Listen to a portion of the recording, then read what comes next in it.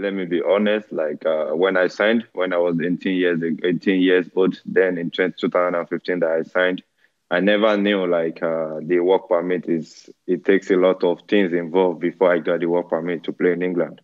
I, I never knew it would be this uh, difficult. Let me put it that way. I never know, knew that it, it, it would be this difficult and uh, there, there are a lot of things involved in getting the, the work permit. But at this stage, I am like, uh, I've been to different places. I've, I've been on loan and uh, I've been playing my, my game like, uh, though is that it has not been quite easy being on loan and everything.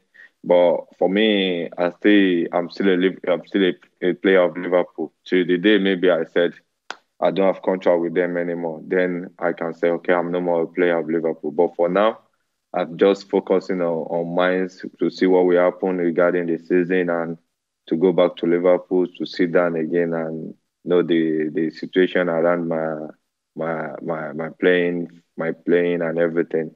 But for now, I'm still a, I'm still a, play, a player of Liverpool. That's all I can say it's about that. On. The dream is still on. You're Yeah. still dreaming of playing for Liverpool. The dream is still on. It's not going away. Like it's not reducing Yeah. at all because successive loan deals and all. It can be frustrating, you know. So that dream to play for Liverpool is still there. Yeah, of course. Honestly, it's still there forever. Even even if I leave Liverpool today, this team will ever be there because that was why I chose Liverpool at the beginning.